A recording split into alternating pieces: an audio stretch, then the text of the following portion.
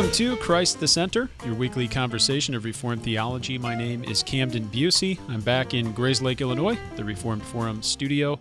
Delighted to have with me some good friends to talk about an important subject. Uh, continuing on in our conversation of Van Til's Defense of the Faith, we have uh, Dr. Carlton Wynne, who serves as a minister, as a pastor down in Westminster PCA in Atlanta, Georgia. Welcome back, Carlton. It's good to see you today. Thank you, Camden. It's wonderful to be here. Yes, we loved your your new digs and uh, all the bu- brilliant uh, books that you have in the background. For those, it looks like you have two copies of Bavinck. Oh, you know, you got one Machen and one Bavinck, but they look similar from a distance. Yeah, I've got a couple of um, of Bavinck books behind me. I discovered today that I somehow have two copies of Volume Two, which I'm very pleased about. I don't know how I stumbled on a second copy. One's marked up and one is clean, and it's in my top five of, of all-time favorites. Yeah. Yeah, who, how in the world did we get along without the RD back in the early 2000s, late 90s? Anyway, we have with us also Dr. Lane Tipton, who's pastor of Trinity OPC in Easton, Pennsylvania, and a fellow here at Reform Forum in Biblical and Systematic Theology. Welcome back, Lane. It's good to see you too. Camden, it is great to see both of you brothers, and I am truly delighted to be here. As uh, as listeners may know who've been with us for a little while, uh, we are embarking on a new Van Til group uh, for quite some time. I think we've done 66 episodes now with a couple excursies uh, where Lane and I have been uh, talking and, and, commenting on Vos's book, Biblical Theology, Old and New Testaments. We do that really once a month. Ends up being maybe about 10 per year. And uh, we thought, along with Carlton, with this tremendous idea where we would walk through uh, Van Til's book, The, the Defense of the Faith. Now, we're working through first edition copies here, although there are three editions. Uh, the second edition is more abridged. The third edition includes annotations by Dr. Scott Oliphint at Westminster Theological Seminary.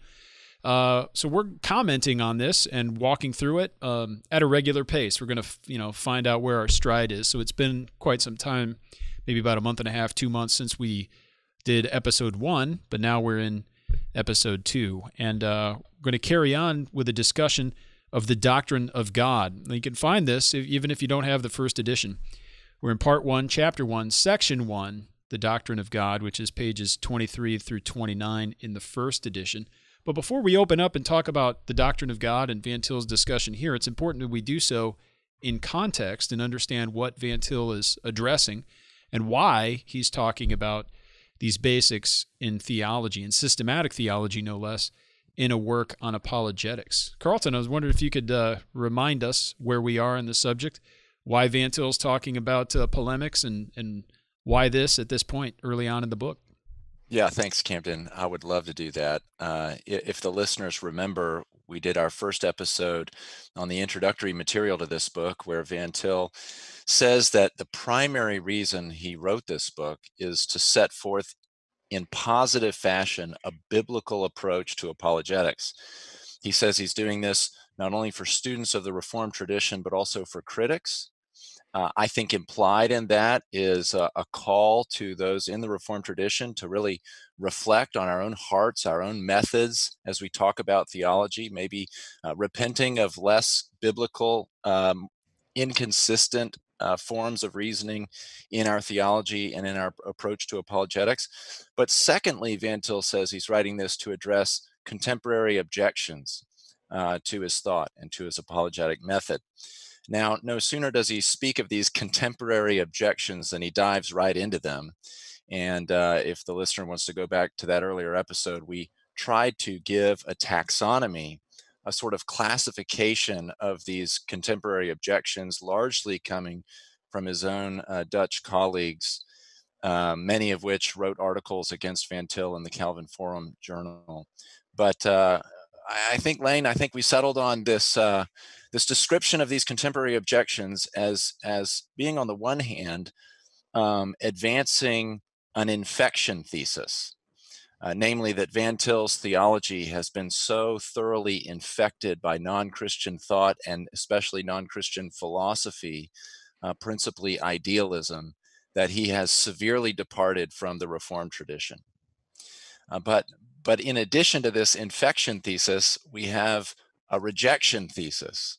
Uh, that is, Van Til's opponents argue that Van Til also takes the reform tradition in such a way that he finds no point of contact with any non Christian thinker at all.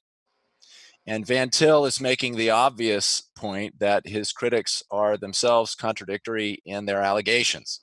Is he so infected with non Christian philosophy that he's no longer Christian? Or is he so resolutely uh, committed to the uniqueness of the Christian faith that he has no point of contact when dialoguing with unbelievers? Now, Van Til is going to concede, uh, he's going to recognize that his opponents concede certain points about his own position. They too acknowledge the chasm of difference between Christian and non Christian thought. They too recognize in Van Til that he acknowledges common grace insights in various non Christian thinkers. As he puts it, truth as far as it goes. But after Van Til does all this with respect to his contemporary critics, he says, We're not going to understand the criticisms uh, well enough unless we first understand the structure of his thought. So, uh, leaving those contemporary critics aside for the moment, Van Til launches in part one into the structure of his own thought. And one of the first things he says is, uh, We are interested in defending the Christian faith as a unit. We're intent on taking all of the deepest presuppositions revealed in the scriptures concerning God and creation and man and covenant, image and Christ and the atonement and we're seeking to advance the Christian faith as revealed in the Old and New Testaments of Holy Scripture. And he says the way that Christianity has been taught as a unit is under various logical headings in systematic theology. And so Van Til's approach is going to be to take up those logical headings, uh, beginning with the doctrine of God, to advance his own thoughts so that we might understand his distinctively reformed apologetic and be able to understand his answers to his contemporary critics. So there you go. In this in this episode, I think we're probably just going to be able to talk about uh, Van Til's wonderful and foundational discussion of the doctrine of God, maybe teasing out certain features of his discussion that are relevant for apologetics, but but understanding Van Til in his own terms as he reaffirms a, a classically reformed understanding of who yeah. God is. That's very different from other approaches, and uh, that's what Van Til is seeking to do: is to demonstrate a fundamentally consistent and faithful biblical apologetic. But for Van Til, a biblical apologetic is also a reformed apologetic, because the reformed theology and the reformed approach to defending the faith is the most faithful to Scripture. So these are not uh, differences, or an apologetics is not some sort of arbitrary choice. So the way we defend the faith is not just whatever method we decide to do. He's seeking to advance a very specific God, the God who has revealed himself in a very specific way. So Lane, as Van Til starts, he speaks about systematic theology and specifically the doctrine of God being of fundamental importance. Why is that so significant before we even talk about how to defend the faith?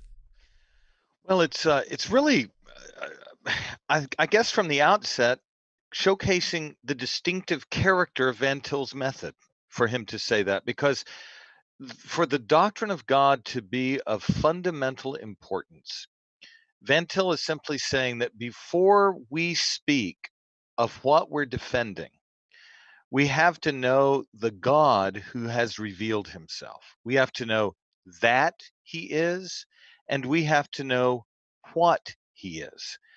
And so, by fundamental, Van Til means that the doctrine of God is of most basic structural significance for us, if for no other reason than this.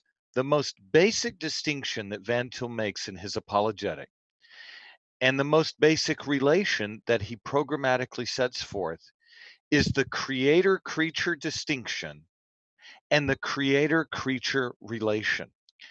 And as we begin our apologetic, Van Til wants us to recognize that what we believe about God in the creator creature distinction, what we maintain about his identity in the creator creature relation, will have a governing influence on every other topic that we address. So you could think of it this way that before we talk about man, before we talk about Jesus Christ and sin, before we talk about salvation and the church, the most basic issue that we have before us is the character of the God who has made himself known. And until we understand that, until we get a grasp on his nature, we're not going to be in a position to understand how we should defend or express an apologetic in light of that character.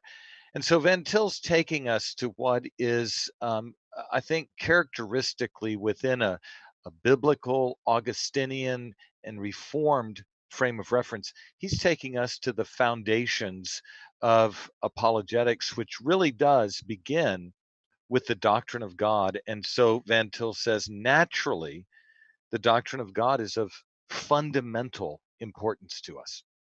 Lane, do you think that it is fair to say that when Van Til says the that must precede uh, the how, or that our defense must presuppose who God is, do you think it's fair to say that already implied in this discussion is a question of method, of how we know who God is? That is, by way of his self revelation, certainly through nature, but especially given the fall through scripture.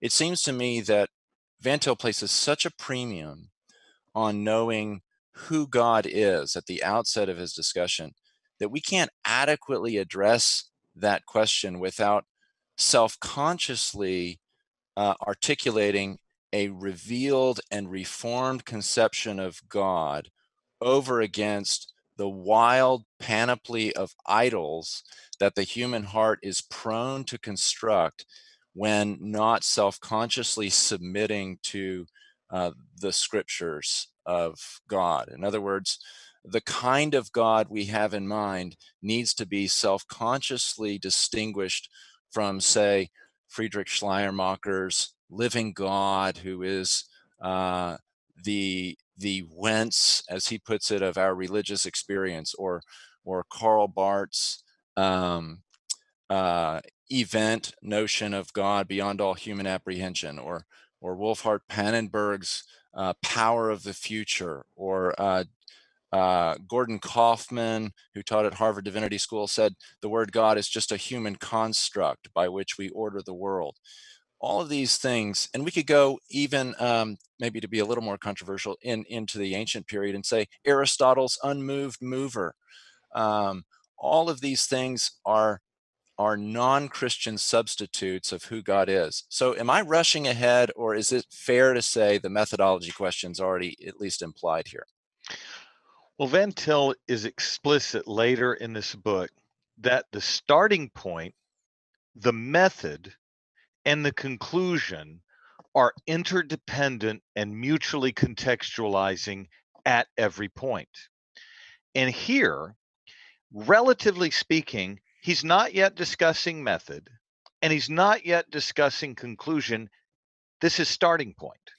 And that starting point is the God not of rational reflection, not the God of community experience, but this is the God who, in his self contained sovereign triune identity, reveals himself in the works of creation, in an act of voluntary condescension we call covenant, and makes himself known to the creature and is himself, as Van Til's going to say, our interpretive concept everywhere. He says that in Common Grace in the Gospel, but that's here. So, Carlton, I think you're very insightful to bring that up at this point, remembering that the starting point, the method, and the conclusion are always mutually contextualizing features in a Reformed theology and apologetic.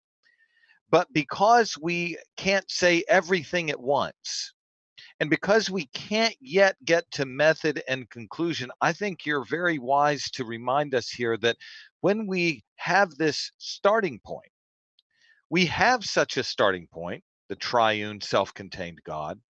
immutable and impassible in his relation to the creature because of our method. We are mm-hmm. beginning mm-hmm. with God because we meet him in his self revelation. And as Bavinck and the Reformed tradition have made explicit, we have no knowledge of God at all apart from his self revelation, his self disclosure uh, to us as creatures. And so, yes, I, I think that's really important because it keeps us from grounding theology in some kind of rational function of man or some communal interpretation of experience that is is in one way or another isolated from or not dependent on the outset on the revelation of God. So yes, I, I think that's a wonderful point to make. So on that front, what are the things that Van Til starts to address immediately? I mean, we could start under several different headings. Uh, we spoke about Bavinck earlier. Bavinck likes to start very early on with the names of God. That's how he reveals himself, and we learn things about the names of God. Van Til seems here, uh, at least starting on page 25, to start to address the attributes of God, which are, is also a very significant and important place to begin. And he does so using a traditional distinction between the incommunicable and the communicable attributes. But what do we see about Van Til and his approach to theology proper, even in the way he starts to, to speak? What I love about this section, Camden, is that um, Van Til is going to give us quick but profound snapshot looks at the attributes of God, beginning with the incommunicable attributes and then moving to the communicable attributes. Now he's a he's a faithful uh, follower and at times critic of Herman Bavinck, and he's going to end up saying some things uh, that make it clear that the communicable and incommunicable need to be taken together. Mm-hmm. And um, and he's going to speak more explicitly later on as to method. How do we how do we arrive at these attributes uh, by way of revelation?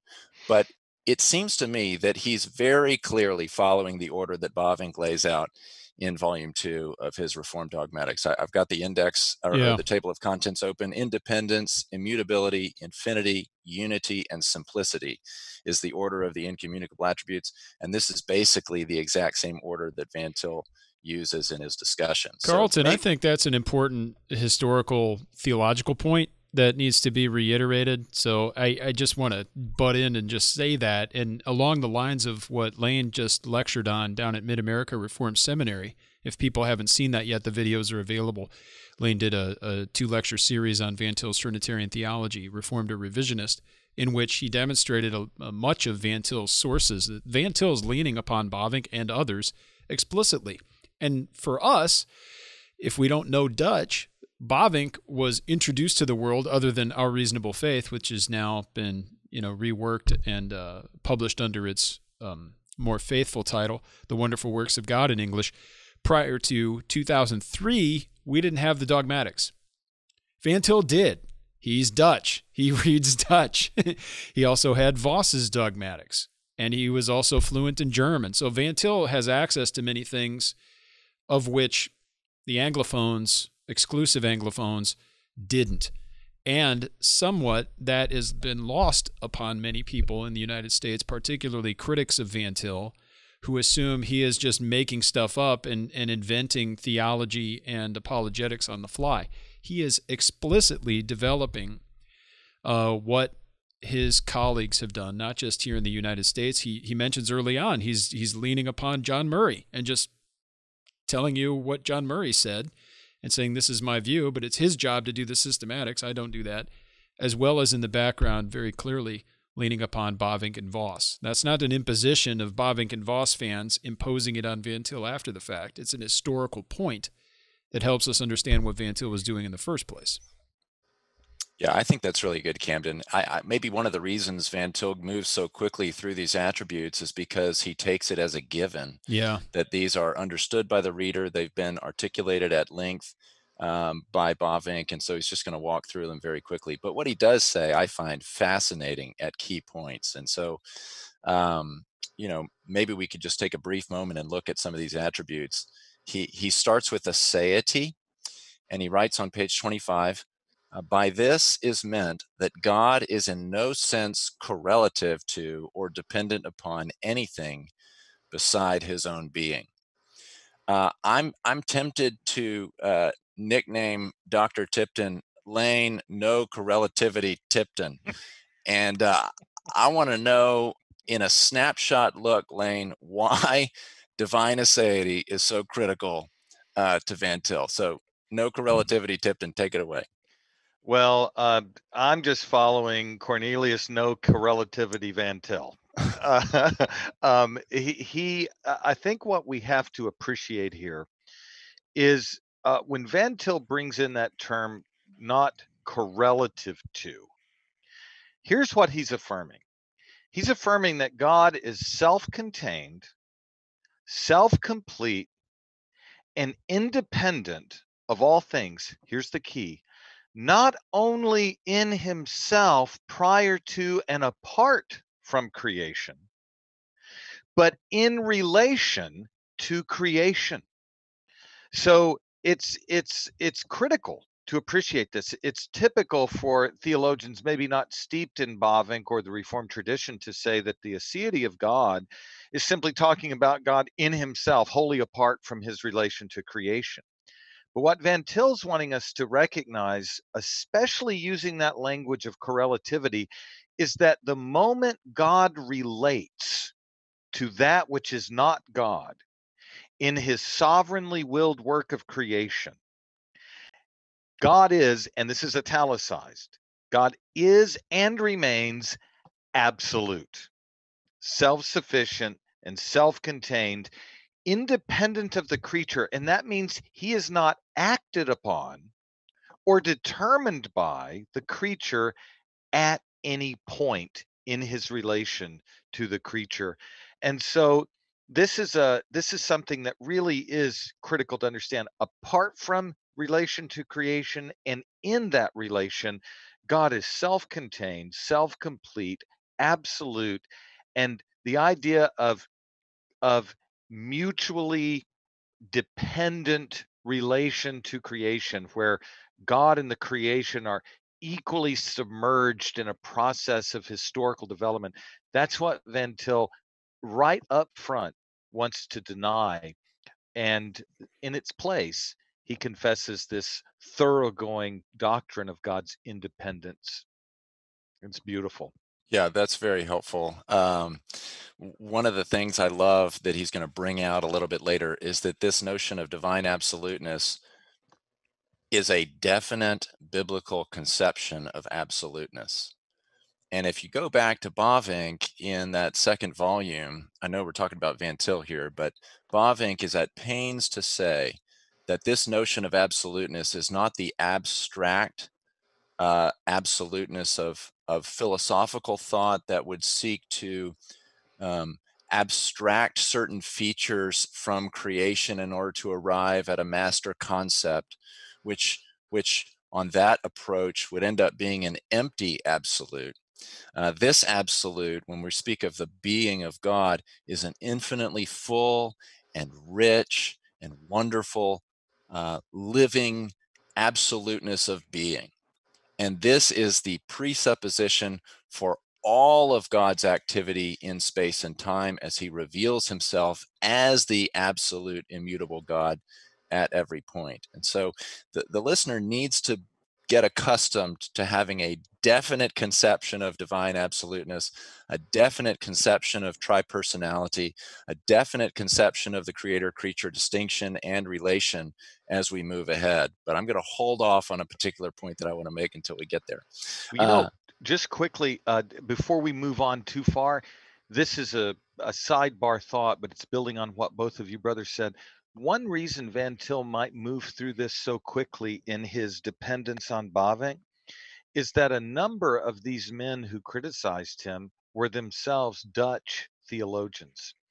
And so they would be very familiar with Bavinck. And yeah, I think good. Van Til moving so quickly, following seriatim, the topics that Bavinck treats in his RD2, is saying to them in almost encoded language, brothers, I am following Bavinck. I'm being orthodox as far as I understand it, as it's represented by Bavinck. And the starting point here is if you're going to follow Bavinck, you cannot affirm correlativity at any point. The relationship of immutability to the aseity of God is worth uh, pointing out. Um, he says, naturally, God does not and cannot change, just stop. Um, well, he goes on to make it explicit since there's nothing besides his own eternal being on which he depends. Now, the point that Van Til's making here is one that's just basic. And, and Carlton's already said it really well that this infinite fullness of God's personal being, which is living and active and self contained, self complete, and fully actual. It is that being that comes into view when we think of God, not only in terms of the eternal processions internal to the being of God, but especially when we think about the missions of God in relation to creation. And I'll just point out two things from the text that Van Til uses. Malachi 3:6, and there's a little typo in the original. It's James 1 7, but we would all know that it's James 1:17. Those are kind of two of the great texts that anchor this. And I'll just put it briefly and, and then we can elaborate on it. Malachi 3:6 says this I, the Lord, do not change. Therefore, you sons of Jacob are not consumed. What's the point? The point is that a covenantal God is not one who has taken accidental, mutable, contingent properties to himself, submerged himself into the historical process, and become conditioned by creation and by time and change. Rather, the covenant God is the absolute God.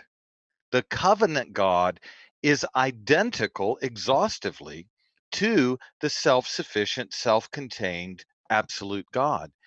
And James 1:17 makes that so explicit in giving every good and perfect gift. God does not change like shifting shadows. So rather than his actions involving some change internal to him or some actualizing of a passive potentiality he has within him, what, what we have here are the actions of a self contained God from beginning to end. And so there's no room in Van Til's thought here for a covenantal God who, in his covenantal dealings with man, somehow becomes mutable or changes in that relationship. To put it negatively, what do you think about this?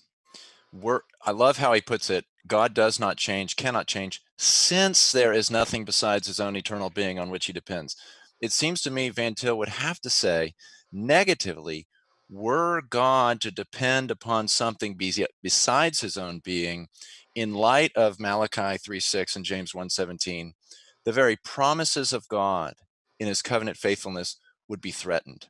Yes. And the gospel fabric would begin to disintegrate. And if we bring Vos into the equation in the Pauline eschatology, when he talks about the very character of eternal life, is a kind of, I know I'm getting ahead of myself here, a kind of replication of the fullness of life that is intrinsic to who God is. Then we begin to see that the very character of our unbreakable bond of fellowship with God is itself a reflection of the immutable living being of God Himself. We don't enter into that being, we don't become participants in that being, we don't become divine ourselves. But in our covenant fellowship with God, in the confirmed fellowship that we have through the Lord Jesus Christ, what we're getting is a revealed analogy, an archetype in fellowship with God of the glory of his own immutable being. Brothers, when we sacrifice this, we sacrifice the integrity of the gospel and the very fabric of eternal life in Jesus Christ. And I love how Van Til is is is implying this in his affirmation of this attribute of God in say. Yes, and and just to to, to say one thing in addition to to to supplement that point, and um, tell me if this is a good way to put it, and if not, let's fine tune it more. But for Van Til, this is not simply a point of theological orthodoxy. It is that, to be sure. But I think for Van Til, this is what preserves the integrity and assurance of true religion that we can trust in God and have um, a a religious foundation and certainty for that uh, religious uh, foundation, which is an immutable God, a God that doesn't change, and um, and so there's there's really nothing of greater practical religious value than a robust confession of God's immutability. Amen. Amen.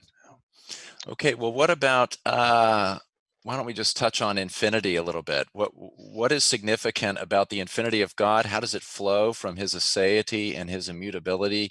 Van Til says his infinity uh, needs to be understood with respect to time and with respect to space. So so now we're getting into um, at least um, by way of derivation the creator creature relation. Uh, God in himself is eternal and immense. And this has implications for the creator creature relation, in as much as God uh, does not experience a succession of moments in history along with us as temporal creatures, nor is God included in or confined by space as the absolute, immutable, infinite God.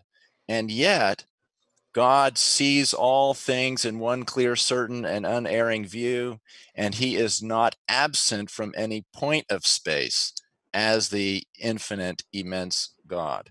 So we're, we're getting the mysterious character of the creator creature relation uh, creeping in here as we think about the attribute of divine infinity.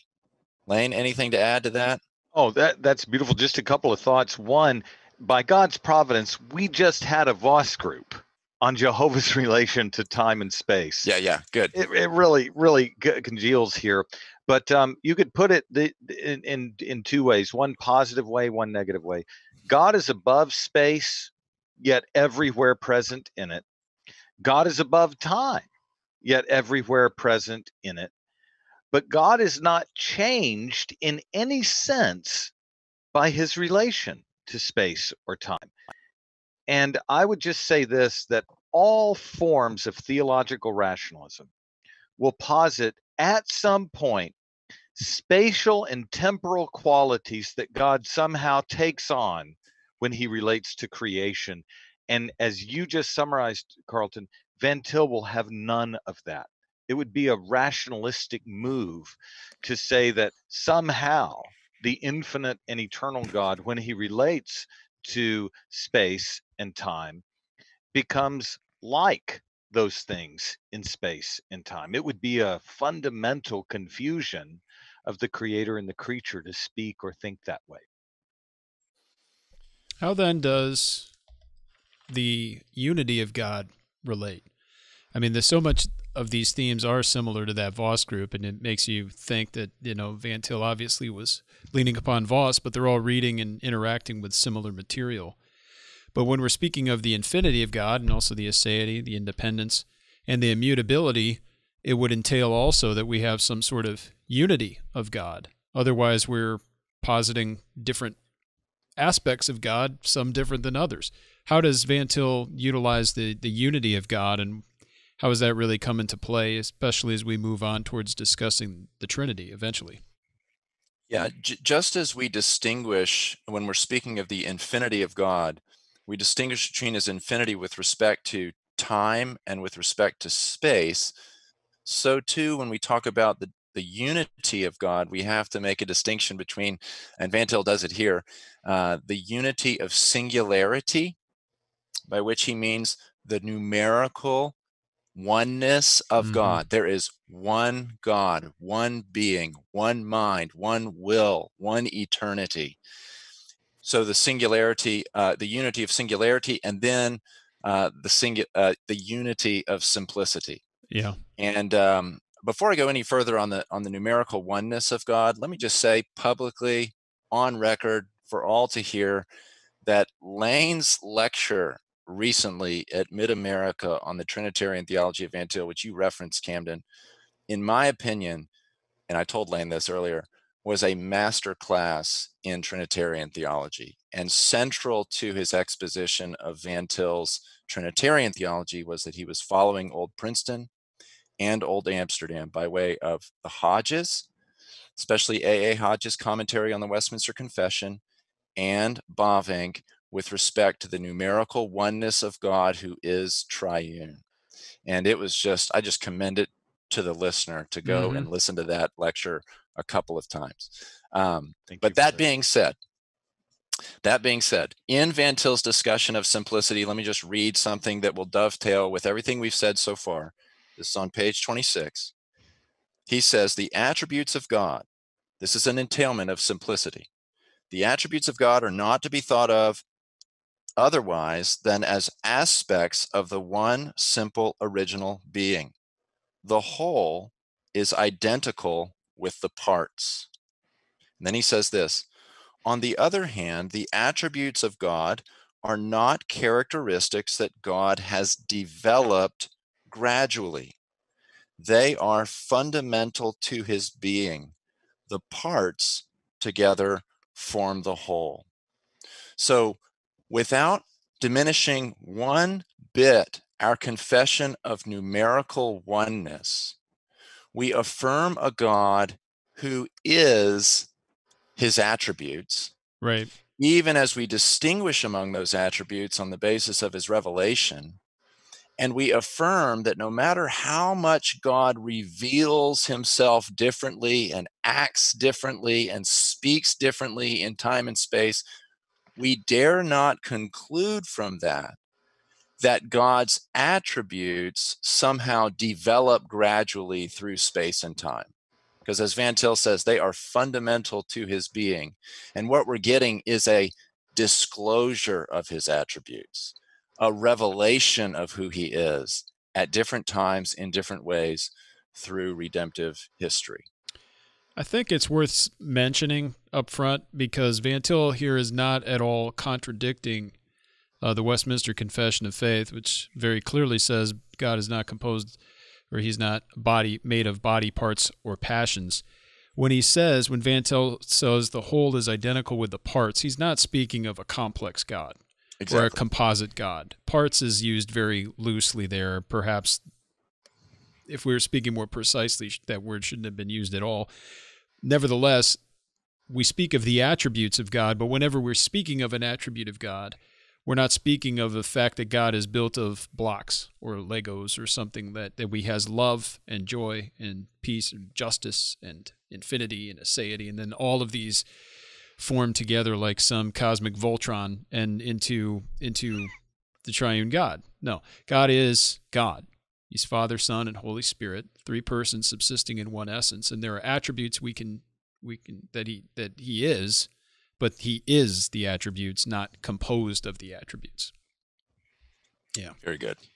Yeah, that's that's very helpful, Camden. And and and I think what Van Til's wanting us to recognize a different way to put this is that there are no accidental properties that God adds to himself when he relates to creation mm-hmm. or either by way of his eternal decree where he decrees to relate to creation, or by the work of creation itself, or in his special act of providence by which he voluntarily condescends to offer himself to Adam as his as Adam's blessedness and reward for covenantal obedience.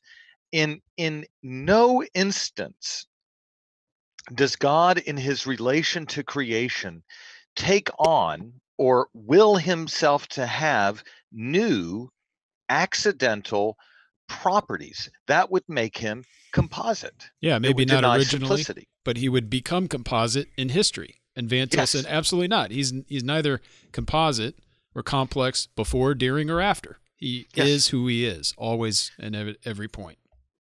And the eh, you know, but but contrary to the reformed view here, you can you can think of Socinians Hegelians, process theists, open theists, all of them affirm this tenet in some way. There, there are going to be cosmetic differences, to be sure, but fundamentally all want to say, uh, Schleiermacher and Barth you can add to this group, that when God relates to creation, in that relation, God himself changes by way of either permutation, alteration, or addition. He takes something new to himself, wills something he did not have before, um, takes on or gains attributes as accidents that are added to who he is essentially. And there are a number of, of examples of that from uh, ancient into the modern era where God's simplicity is affirmed as long as God is not thought of as related to creation. But once he relates to creation, that simplicity is altered that that simplicity might be maintained but then there are new properties that qualify and characterize god in his relation to creation. Properties like ignorance mutability passibility emotional and intellectual development and once that happens, it's a baseline departure from this classical doctrine of simplicity, this reformed and biblical conception of simplicity that Van Til's advocating following Bavinck. Lane, I appreciate your uh, ever present insight into uh, this topic and Camden very adequate and fitting words to add. Um, I'm sure we're all we're all in agreement uh, in what you articulated and the importance of articulating it one thing I want to add that may be helpful for listeners is that the idea that new attributes would need to develop gradually for God to interact with his creation rests on the idea that God, in and of himself, is unable to relate to creation. And so, again, as we proceed in this discussion of Van Til, he's going to say later, and I don't know if we want to go there now, um, on page 27 that we that we can't attach a non-christian conception of divine immanence to a non-christian conception of divine transcendence and actually get a biblical conception of the god world relation. And to posit that new attributes need to develop gradually or that god takes on new attributes in order to relate to creation presupposes i would argue a non biblical conception of divine transcendence, inasmuch as it holds that God, in and of himself, prior to and apart from the world, is somehow inhibited by his divine aseity. That aseity is, is like a. Um, it's like a cage that keeps God from relating to the world. It's a if we were to take an unbiblical notion we mentioned earlier, an abstract notion of divine absoluteness, and say it's a deistic conception, uh, and, and what does a deistic conception need? It needs the addition of some kind of mechanism that would achieve immanence or relation. Well, already you've started with a deistic conception of divine transcendence that's going to require some kind of maneuver to get God in touch with creation. The answer is not a mix and match kind of theologizing, but it is a recognition of the biblical conception of God in himself, who out of the fullness of his being makes a completely free uh, transition, as, as Vos puts it, uh, from his own eternal necessary existence to creating the temporal existence of the created world in relation to him. This is something that God needs nothing beyond himself in order to do and accomplish.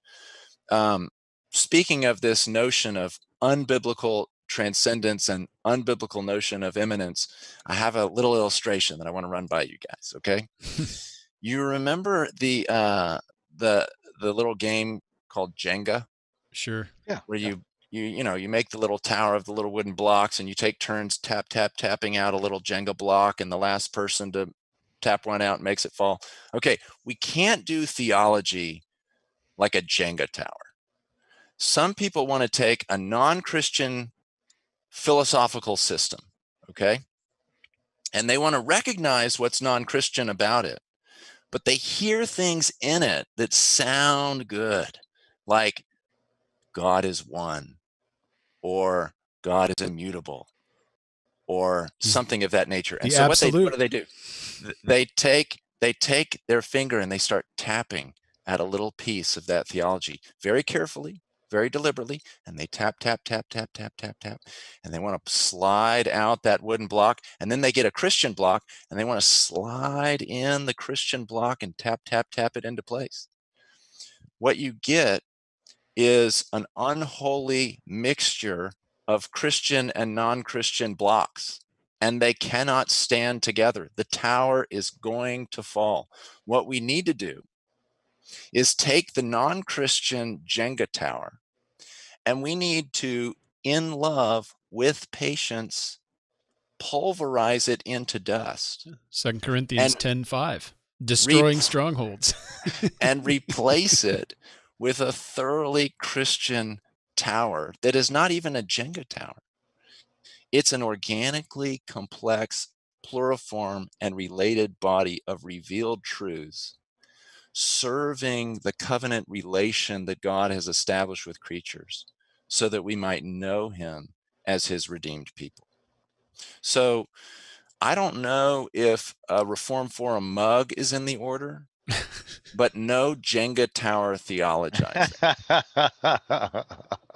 I'll work that out. Carlton, I love that. Um, it, you know, and when when we're thinking about this relation of God to the creation, the idea that God needs some additional contingent, mutable relational properties in order to relate to creation, shared by all forms of correlativism that we just talked about earlier, that's really laid to rest when you remember the theology of the new relation. Now, I'm going to just borrow from Vos here, from his Reformed Dogmatics 177 and 8, volume 1 and and we've said it before so i'll be brief in summary here but in the sovereignly willed new relation of creation the creature changes the relation changes but the god who relates does not change in the relation and that's the specific point of mystery that in the new relation, God Himself does not change as the relation changes and as the creature changes.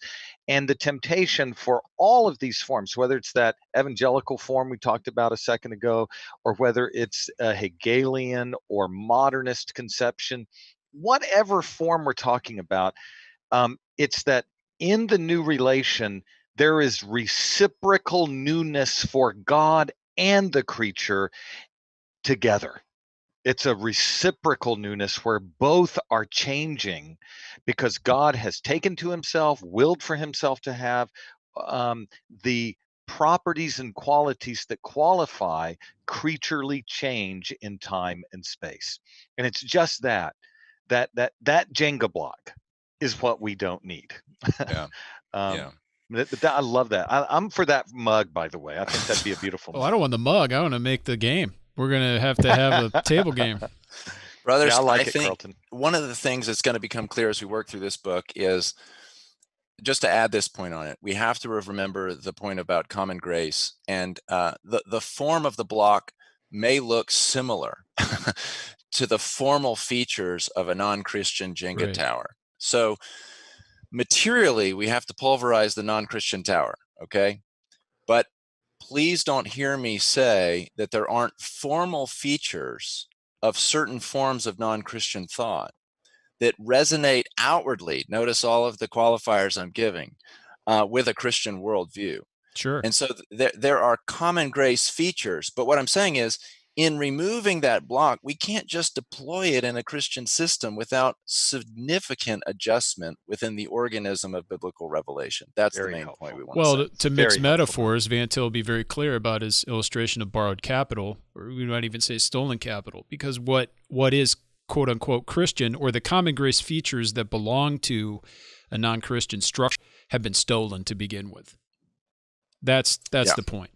And s- and it's not to we don't want to extend this metaphor. It's not to say that the Christian view is a blockhouse view that you could take parts of it out. That's that's not that's mixing the metaphors in, in, inappropriately. But whatever features we find that would be helpful or you know useful in the non-Christian system are not the non-Christians to begin with. They stole them from the Christian uh, worldview and the Christian system and um, from the Christian's pile of Jenga blocks. Uh, uh you know, no good, Jengoistic theology yeah. allowed. now, yeah. Okay. okay. I'll stop. I'll stop. okay, okay, okay. Very Brothers, helpful. I think we better say something, and I know this discussion relates to his section on communicable attributes, but Van Til doesn't give as much description of communicable attributes. He lists spirituality, invisibility, and he and he spends some time with omniscience. So, and, and one point I thought was useful in, in pointing out um, his commentary on omniscience is that he says that God's knowledge of the facts of creation comes before the facts themselves exist. Whereas for us as creatures, we must investigate the facts that already exist in order to know them. For God, knowledge of the facts come first. And if you remember uh, back in the uh, objections, his critics, contemporary critics, one of his critics said, um, said, if it, and I'm quoting here, if it is possible to say that God's thought is constitutive of facts, is it not also necessary to say that the facts are constitutive of God's knowledge and therefore of God? And the point that this particular critic is making is that Van Til is leaning into a philosophy of idealism here, where the rational is the real, the real is the rational. And Van Til's going to try to rebut that here and later on page 234 in the book. But I think it's important to map out uh, how, let me just ask this question maybe to you, Lane. How is this point about God's thought being prior to the facts of creation not leading inexorably in an idealist direction for Van Til? Well, Van Til makes this point that on the top of page 27, God does not need to look beyond himself for additions to his knowledge. In all forms of idealism, and especially the um, the uh, the philosophy of absolute idealism. God as the absolute principle of unity, if you want to call it God. Idealists aren't uniform in doing that. But that quote unquote absolute comes to no space time particularity in a symbiotic, correlative, mutual relation to it, so that he comes to know facts in symbiotic interaction and reciprocal and mutual relation to those facts, but not before. And so the unfolding of the historical process is the unfolding of the knowledge of the absolute, if you're thinking about absolute idealism. But for Van Til, knowledge of facts comes before the facts for God. And this is the key. This is the death of the idealist premise.